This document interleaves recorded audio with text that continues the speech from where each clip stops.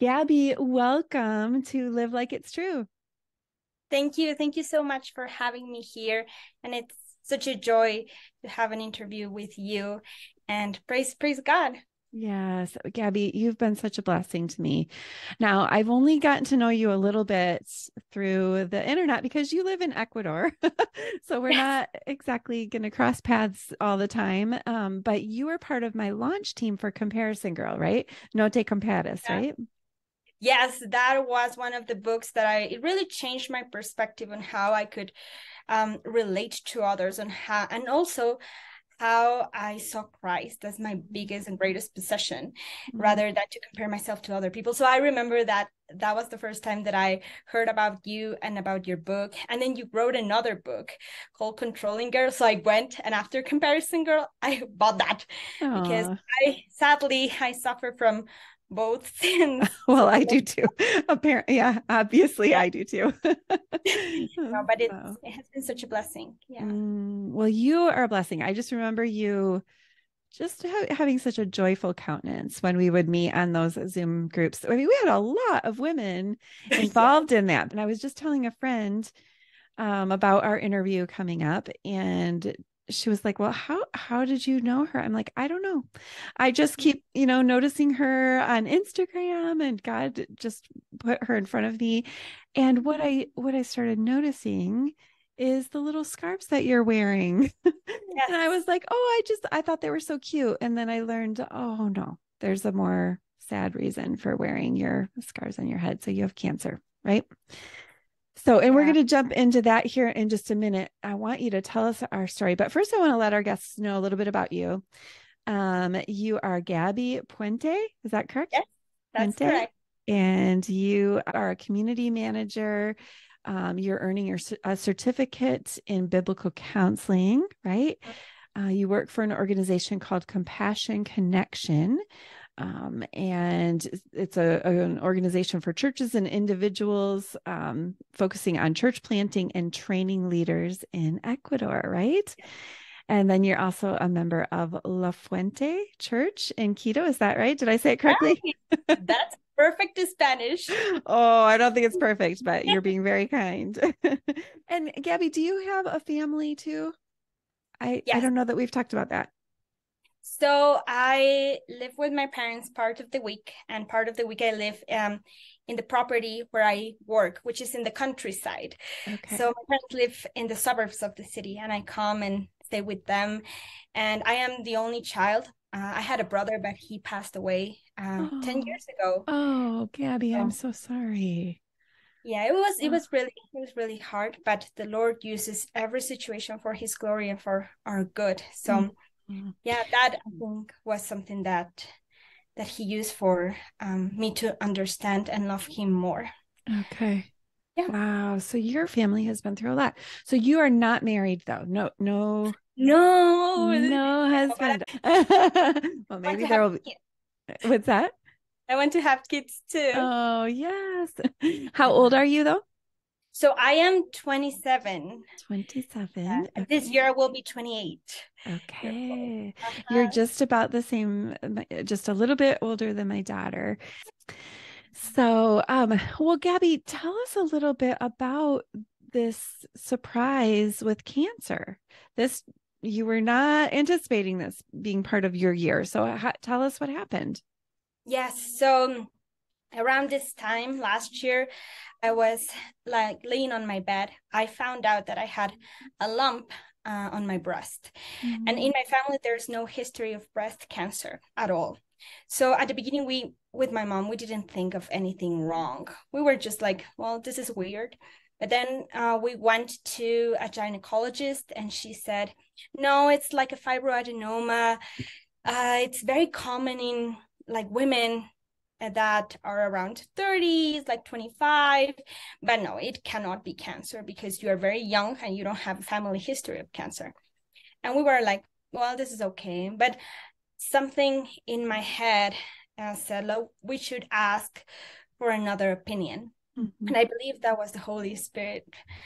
Uh, so we went to another doctor and he said, this is a little big. It was about five centimeters, the lump mm. and he said we'll well we will do a biopsy so they did a biopsy and we waited like two or three weeks because we thought it was nothing and then the results came and my parents went to pick them up uh, because i was not in the city and that is when they found out oh. that it oh. was um, carcinoma stage three that had already invaded like some of the lymph nodes on my armpit mm. so that was that was a shock. Um a complete shock. And then from so that happened um at the end of may beginning of june and i started with uh, the first chemotherapy at the end of july. So after exams and mris and a lot of um, a lot of echoes and things like that, and doctor appointments. And my life changed very quickly and very drastically. And that's when I mm-hmm. started treatment. And I am in treatment right now doing radiotherapy. So oh, that's that's a summary of what has been going on this year. Okay. Oh my goodness. And I can just imagine you thinking like, Lord, I'm doing all of this work, all of this training. This is not you're interrupting like i'm doing good things for you. Did you have any of those sorts of thoughts as you were as you were contemplating cancer?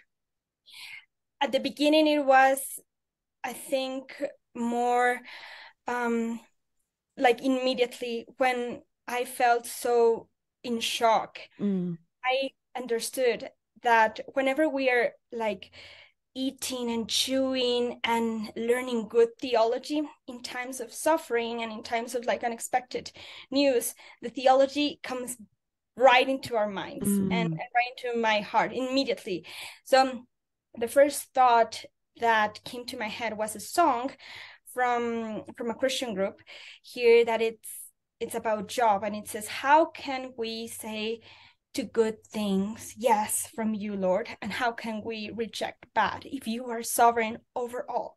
Mm-hmm. So that was the first thought. And then, of course, mm-hmm. there were the doubts and the, and the questioning and the lament and some complaints. Why is this happening? Mm-hmm. After this assurance, the beginning assurance, it came like um, some days, dark days of, of questioning God's will and I didn't know how to.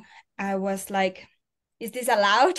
Mm. is for me allowed to go to him and and cry mm. or or just ask him and that is when I found David in some of the Psalms and Job and Habakkuk mm. and some other um, authors in the scriptures that pointed me back to to God and the relationship that they had with Him uh, on questioning him, but at the same time going back to remembering uh, God's character yeah. in their lives. So yes, there was like, God, why I have like for example, I have never ever you know go around and partying and do all this crazy stuff mm-hmm. and then this happens and I don't understand.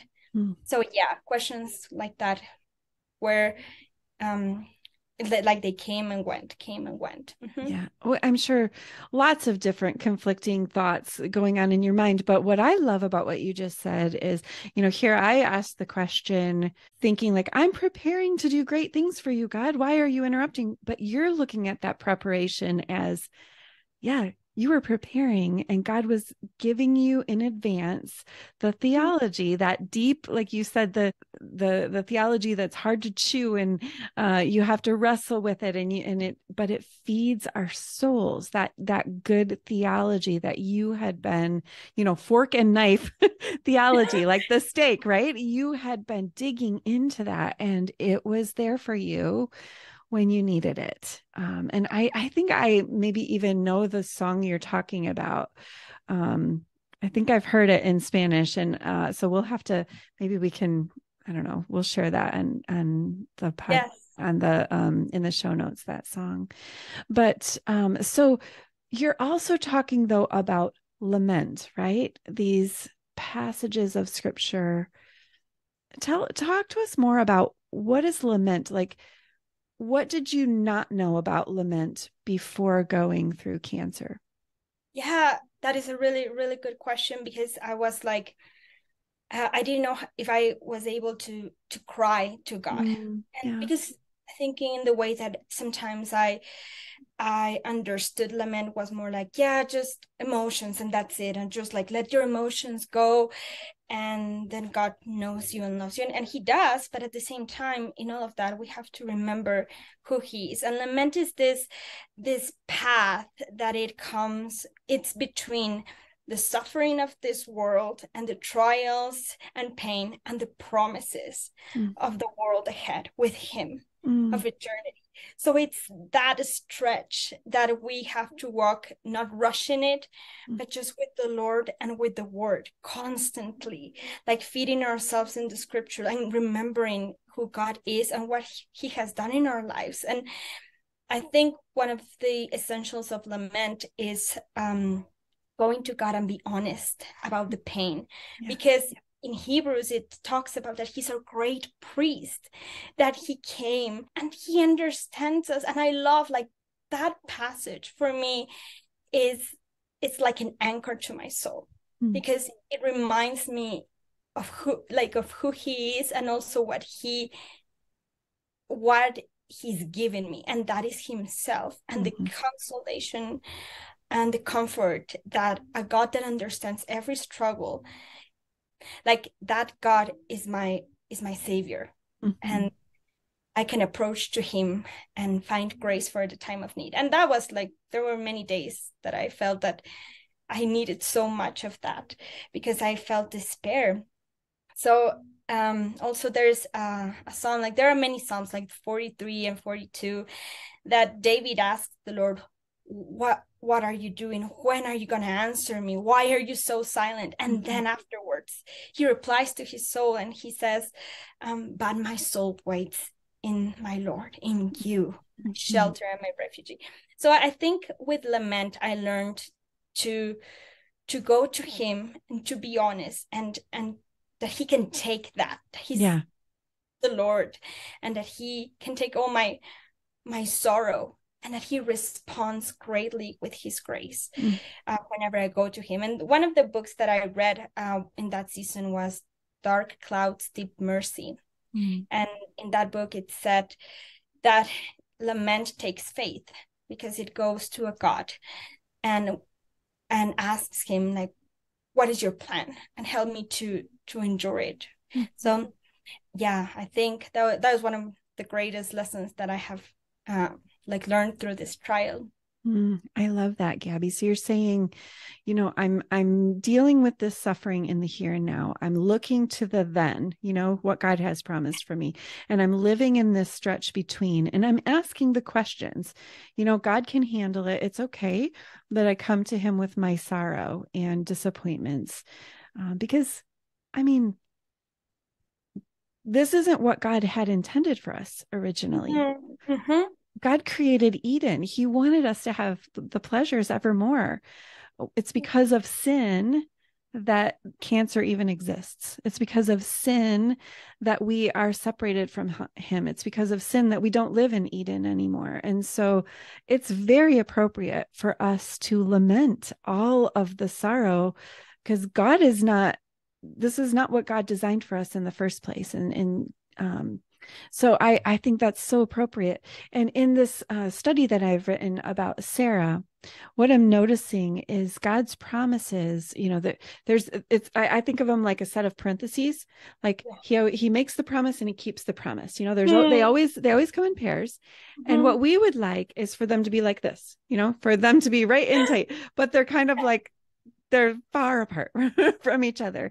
And he makes the promise, and we know someday he will keep the promises, but there is this long stretch in between. Mm-hmm. And why? You know, God in the Bible, God spent thousands of years between making the promise that he would send Jesus and then sending Jesus. Like, what? Yeah. Why so much time? You know, why was he willing to spend this time? And I think you just gave us the answer because you said that it's in this long stretch that our faith grows mm-hmm. right and yeah. and without without faith it's impossible to please him right yes. but that's also in that long stretch that we learn his faithfulness. And that's what I see you doing. Like you're not just lamenting over how hard it is, you're also anchoring yourself in the promises to come. Uh, and that, and you know, that's what Sarah did too. Mm-hmm. Sarah lived her whole life living in a foreign country and living without the comfort of family, of a home. She lived in a tent, you know, it was it was mm-hmm. temporary. She lived her whole life I mean, she, 25 years she waited for this baby that she had been promised. Mm. She kind of lost hope on that. And then, mm. you know, all of these things that she I think when they moved to this promised land, I think they thought it was going to happen like that. I think yeah. she was probably doing pregnancy tests on the way there and wait, you know, picturing we're going to get there. I'm going to have all these kids. We're going to, mm. you know, start buying up land. Yes, and, planning, and, expectations. Yes. And yeah. none of that happened in her lifetime. So she lived her whole life going through what you're kind of experiencing in this year, right? The stretch yeah. of the in between, like knowing that the promise exists, but just not seeing. How how do you see uh, some parallels in your own story to what Sarah experienced? Yeah, I think that um, so I remember so I write journals. I write journals and journals and I ask God for for things and for desires of my heart and expectations and I was reading when I first, uh, like in the first couple of months, I was like, well, I need to reread reread my journals and see God's faithfulness uh, in my past because He's still the same God today as I'm going through a very hard thing. Yes. So I went through one of them, and then it said like, it was an entry that said something like, God, I really, really want to know you and understand you more mm-hmm. and i really want to to get to experience you in my life because i'm tired of sin i'm tired of pride i'm t- and i remember i was reading that and one of the things that he has done through cancer is is that he has accomplished that in mm-hmm. many ways but it was in 2019 so in mm-hmm. that moment I I was like, yeah, I want this and I want more godliness. And I grew like step by step. But this period of time has been the answer of that prayer, like a few mm-hmm. years ago, that I could savor God and and that He has cleansed me from a bunch of sin, like pride and also jealousy and um just trying to control my life because in reality we don't have the control. But just that illusion and he has come so quick um in like saving my my own mind and my own heart for himself and cleansing it from these things that capture it. But it was not a response back then that like you know when we pray we well in my case I'm I always think, oh, I wish there was an angel here to tell me something or that I can see Christ. But I have seen him in this painful path mm. more like sweeter and more present than I have ever seen him in my entire life before. So it, it has been like this waiting time. And also like I pray I pray for my health. I pray for for the treatments to work and for him to to um heal me and i know there that there's no promise in the bible that says oh you will be healed mm-hmm. from cancer mm-hmm. but i know that he has done a deeper healing in my heart mm-hmm. that it's mm-hmm. it goes to to what we all hope for and to our goal which is a life with him and eternity with him being more like him Gaby, that is just uh, precious to me that you prayed, you asked God for these things, and this was God's way of answering. Yeah. And I mean, I love that is that was his um work in your heart to want for you to even ask those things. Mm-hmm. But an even greater work that you see him answering those prayers in your suffering. And so I want to, I want to, at the end, I want to ask you about um, these promises that you've held on to. But before we go there, I want to circle back to what you said. Yeah. God uh, God is cleansing you, right? Of these like you would love for him to cleanse you of the cancer, but he's cleansing you of sin. And so how has your cancer helped? I want to just talk about those three that you mentioned, pride, jealousy, and control. Mm-hmm. How has the cancer helped to free you or cleanse you of those sins? Yeah. Oh, that's that's a great great question. I think for je- uh, for jealousy, uh, there have been many times in my life where I, I see other people's life and other people like through social media or through my group of friends that mm-hmm. I am focusing on them and on on what they are doing or what they have instead of like what God in his grace has given me and at the same time I'm rejoicing with them on what God has given them. So cancer came into my life and in one moment I thought many of those things are temporary. Mm. Many of those things will will go away. Like I don't I don't have an assurance that I will be healthy again or that I will be sick with other things. So then seeing my life through that lens and seeing other people's life through that lens helped mm. me realize more like um it's Jesus. It's Jesus who we should put our eyes on instead yeah. of others.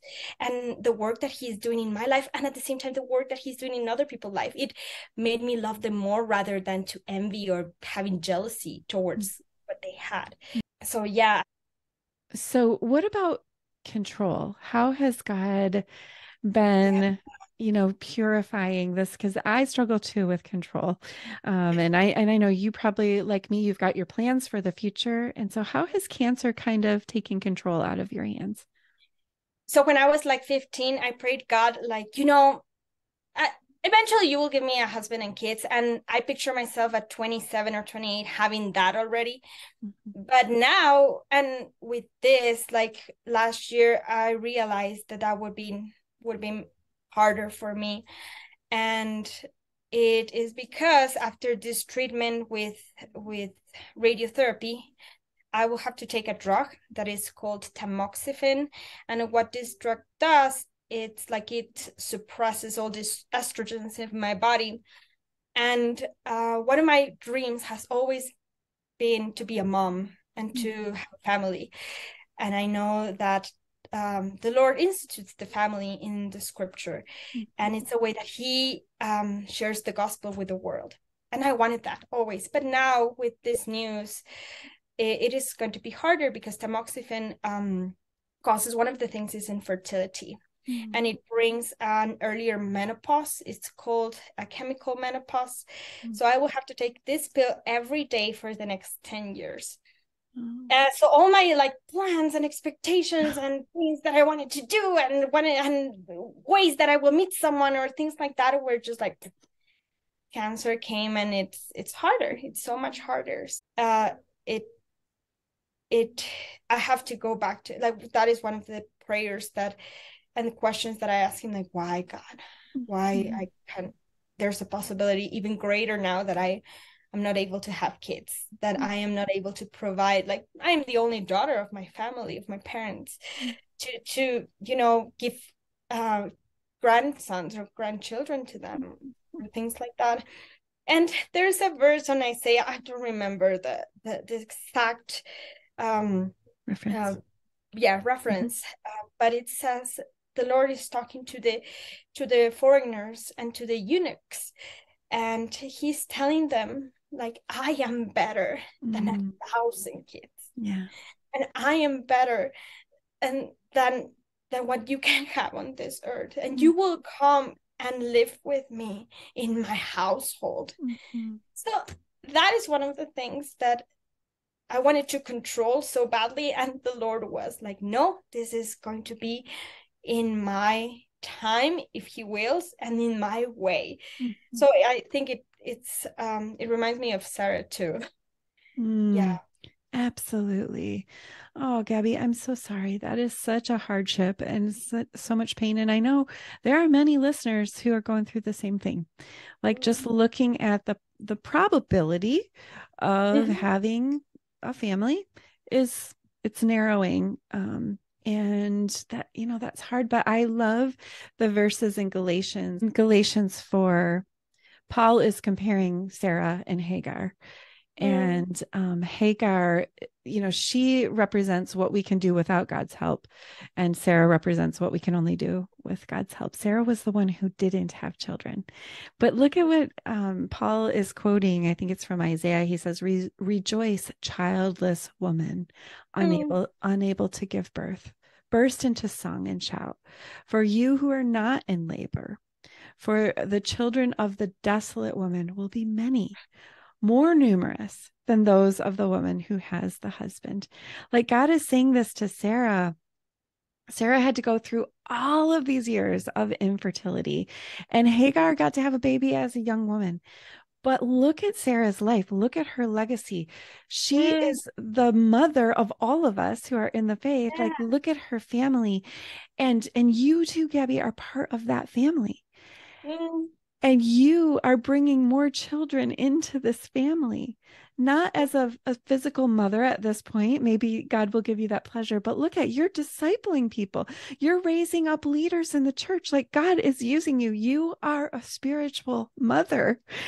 And you potentially have more children in the kingdom of god than the the young mom who has you know babies the way that you would have hoped. But god is not um he's not keeping anything good from you. Mm. He has good plans from your for your life and he's using you in powerful ways. Even being your willingness to have this conversation with us tonight. It's such a beautiful gift. Oh.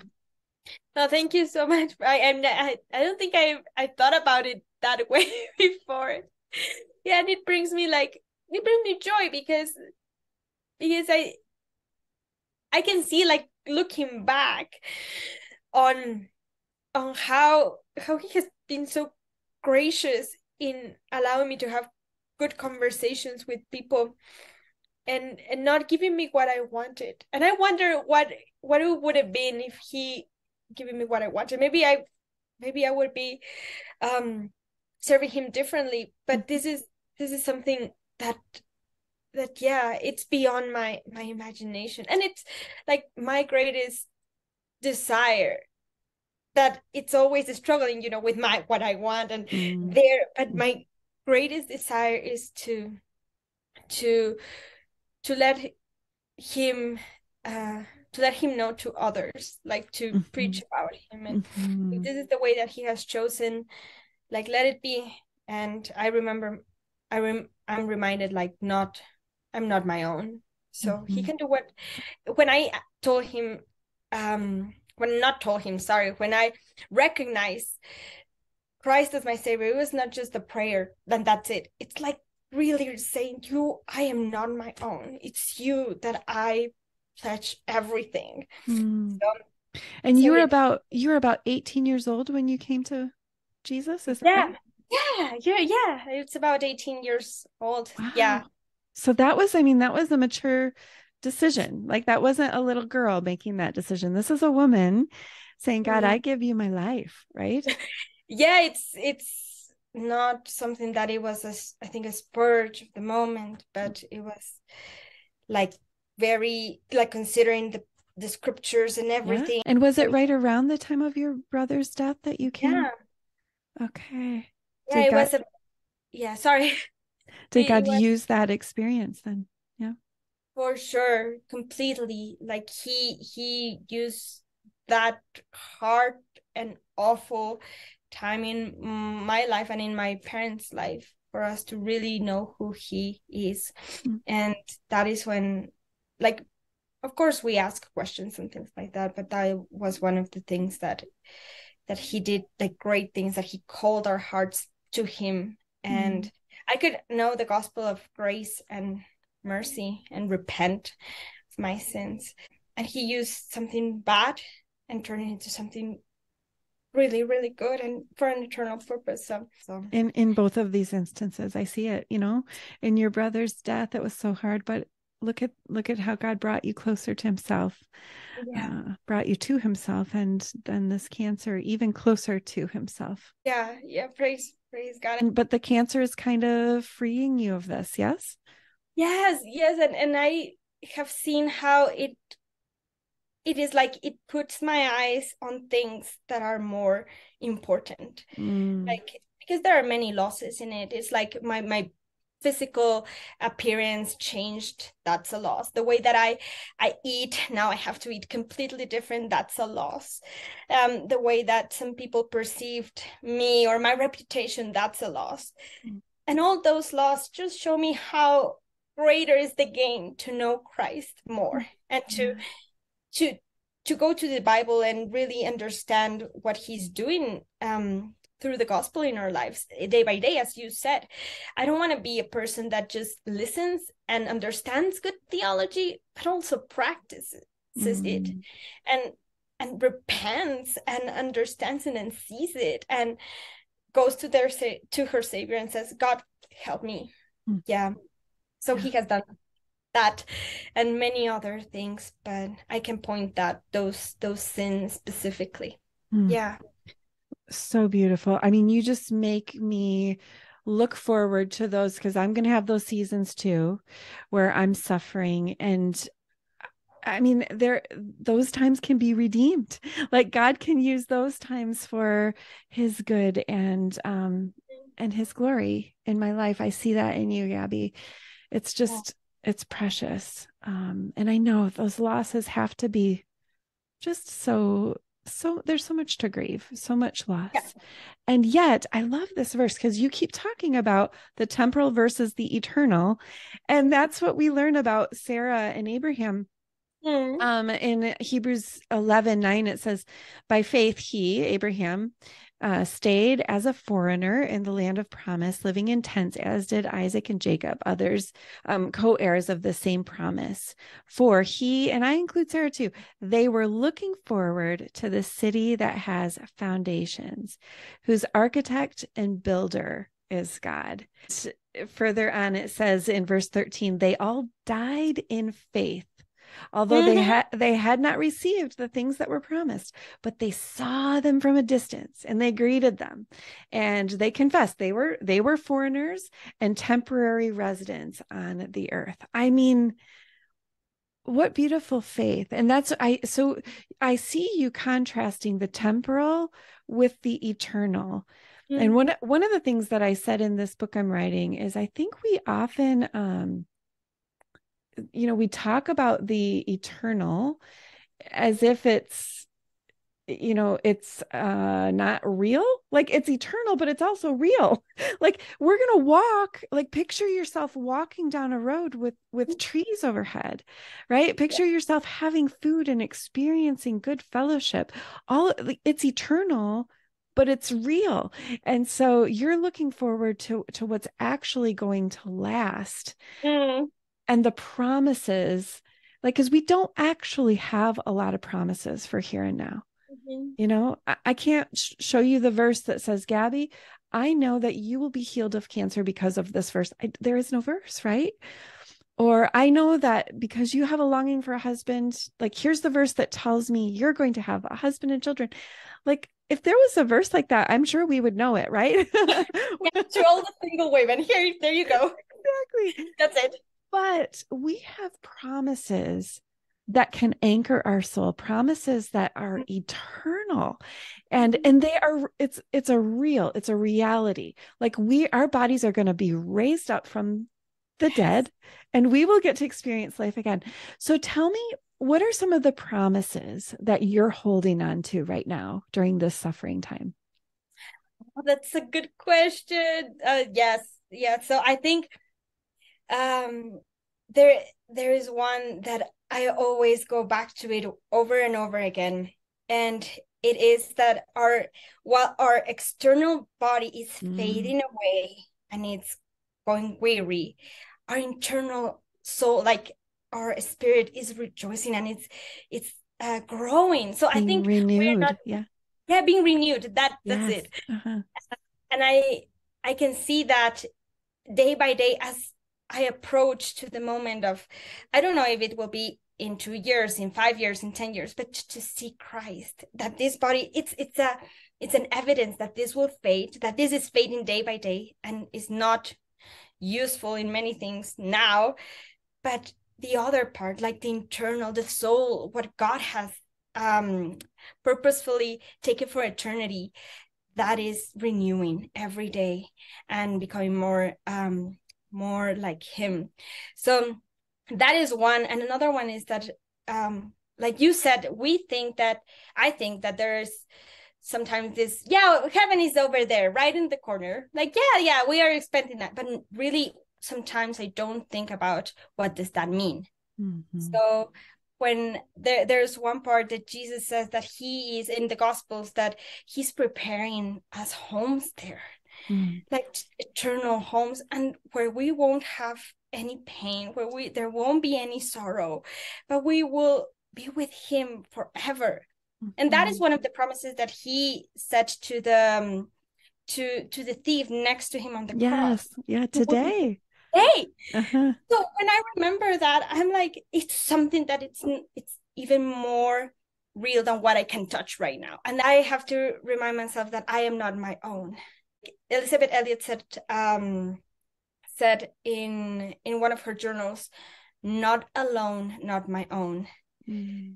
so i think we can just um like change that to many verses on the scripture that says that how like in ephesians how we are his mm-hmm. how he has bought us in all ephesians 1 is how he has bought us how we belong to him how we, we are adopted so i think all those things are promises that i hold on to very quickly well, what I love about what you said earlier is you're holding on to the promise that you have Him. I've heard you say that several times in this conversation. Mm-hmm. He is the treasure, and you mm-hmm. will never lose Him.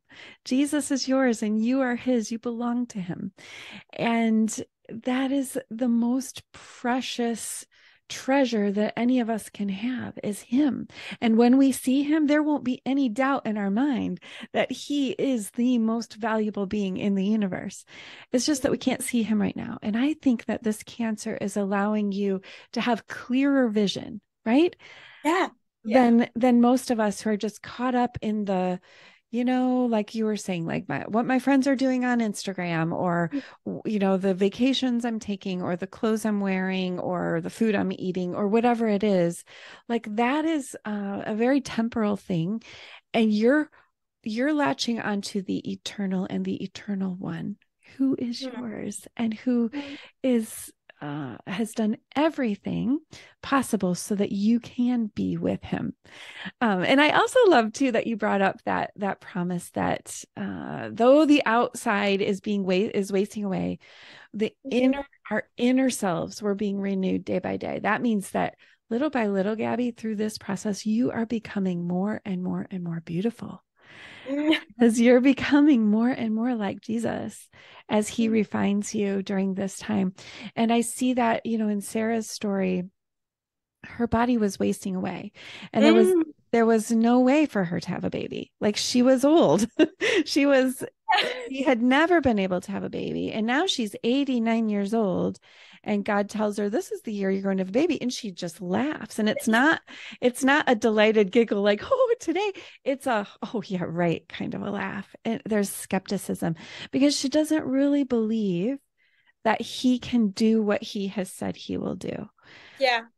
And so I think there's something really beautiful in believing that God can heal your body of cancer if he chooses to. I mean, if he can have an 89 year old woman conceive a baby, then he can make Gaby's body completely mm. whole again if he chooses to. But even if he did that, your your body eventually at age 89 or some other de- time you're going to die, right? Because mm-hmm. our bodies are temporal. And so this inner beauty like this this thing that's happening inside of you that does not fade away that will never die that will keep living and uh, keep continue growing more and more beautiful in the image of christ and i see that in you i mean to be 27 years old and have this clarity, this um this perspective on life. I mean, this is beautiful. This is a it's a beautiful work of God in your life, Gaby. And I'm I'm uh, I'm so excited for you. I really am. Yeah, thank thank you. I it's I never ever ever picture myself like going through something like this. Mm-hmm. And if if he had asked me before, would you want to?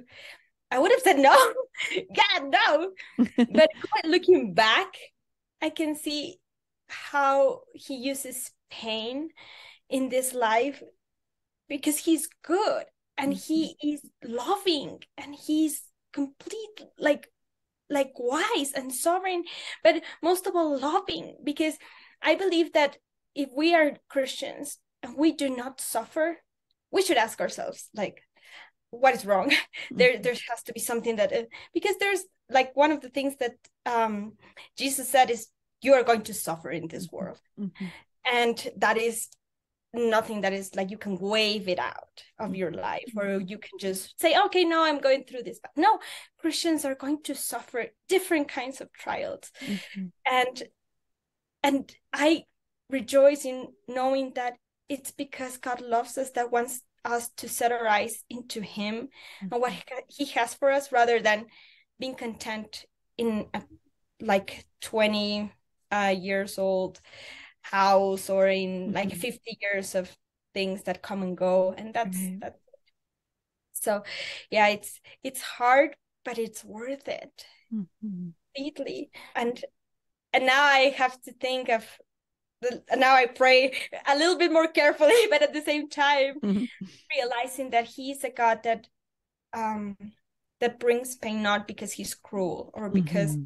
he is he just wants us to be like godly like that yeah no he walks with us mm-hmm. like in all the different days and circle he walks and he shows himself very clearly through the word through the holy spirit through um the the body of believers as well that mm-hmm. walk with uh like in through suffering so mm-hmm. yeah, yeah praise god I love the part in um, Abraham and Sarah's story where God asked them to leave everything behind, all of, everything that was secure for them, their family, their homeland, like move to a foreign country, live in a tent, like we said earlier, for the rest of their lives. Uh, I mean, that's just you could call that almost cruel like that seems hard but mm-hmm. but what i love is when they arrived the moment they arrived in the promised land god appeared to them he mm. showed he showed them the land he didn't he didn't just show them where it was he met them there mm-hmm. and I, god does he asks us to leave so much behind right? There there are so many things in the rear view mirror. There are the so many things that god has asked you to leave behind this very year. And yet he mm-hmm. has been with you in the darkest moments. And you know i heard you at the beginning just say these have been the sweetest times. They've they've been really sweet times of fellowship. You know i wonder like I heard you you say like would I trade it? Like would I ask God for this again? Would I go back and erase that journal entry if I knew that he was going to give me cancer as a result? And I wonder if Sarah if she had the choice, you know, if I could have had a baby, mm-hmm.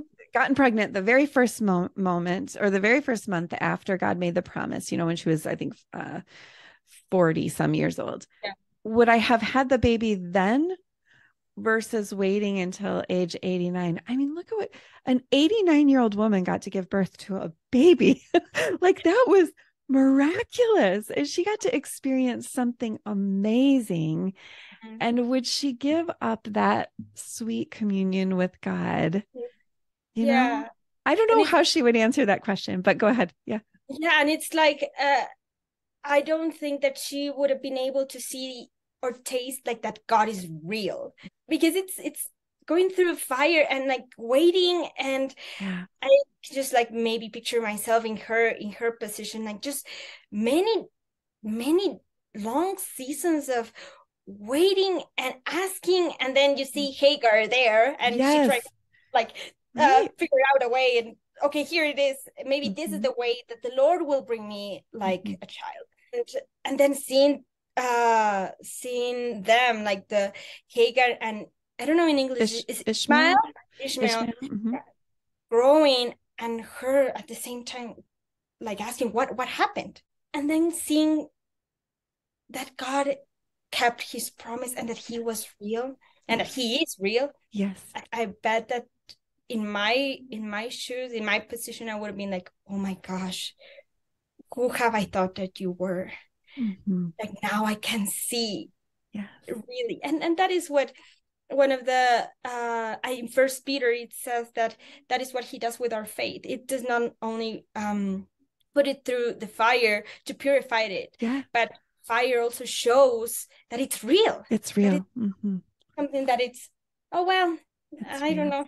It's yeah real. so that that's the hope uh, that that i have. And and it is a hope that will grow and not fade away and then you you can see like in the in the story of abraham and sarah how the generations and the generations yeah. were like praising the lord and of course the people of israel were in some places a little bit crazy but uh, the end like you can see god coming back to them again and reminding them mm-hmm. like and and pulling them back to himself yeah that is that is very encouraging. It's beautiful. I see in Sarah's story and in your story that God is uh, proving himself to you, right? Uh, he's he's showing himself to be faithful. Um, and he is real. These promises he has made to you are real. And he is proving them over and over and over but it requires faith because not all of his promises have been fulfilled in your life yet but they will so Gaby, thank you so much for sharing your story with us. It's so it's been so inspiring and um I we are praying that God will heal your body. Um, thank you. But we know that your soul is completely safe in God's hands. So Amen. we rejoice in that. So thank you thank so much for walking through this with us. I appreciate it. Oh, thank you so much, Shannon. I, I really love it. So